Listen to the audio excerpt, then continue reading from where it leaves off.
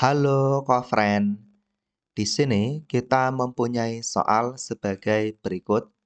Tipe letusan gunung api yang ditandai dengan adanya luncuran lava yang menuruni lereng dan bercampur dengan debu dan batuan adalah tipe letusan.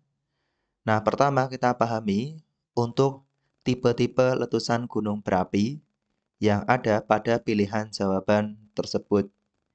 Yaitu untuk tipe Merapi, cirinya memiliki keunikan dengan adanya wedus gembel atau awan panas. Nah, ketika meletus, lava ini akan menuruni lereng. Nah, kemudian lavanya ini kental dan tekanan gasnya ini rendah. Nah, kemudian untuk tipe Saint Vincent, yaitu jenis letusan ketika suatu gunung memiliki danau atau air di atasnya. Jadi ketika meletus, lava akan bertemu dengan air. Nah, sehingga lava panas meledak ya. Nah, kemudian untuk tipe peret erupsi dengan ledakan yang dahsyat di mana awan yang membentuk ini seperti kol.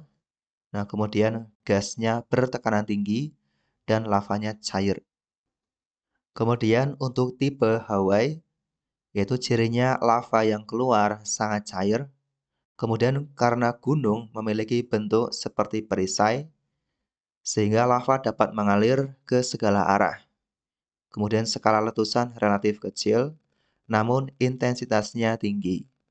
Kemudian tipe Stromboli, magma sangat encer, kemudian dapur magma dangkal, kemudian saat meletus akan mengeluarkan lava pijar, kemudian material gas, kemudian padat, dan berlangsung terus-menerus. Nah, kemudian dari penjelasan tersebut dapat kita simpulkan ya, bahwa tipe letusan gunung berapi yang ditandai dengan adanya luncuran lava yang menuruni lereng dan bercampur dengan debu dan batuan adalah tipe letusan Stromboli ya.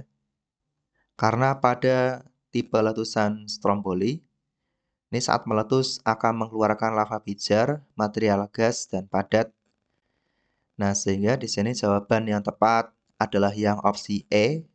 Sampai berjumpa di soal yang selanjutnya.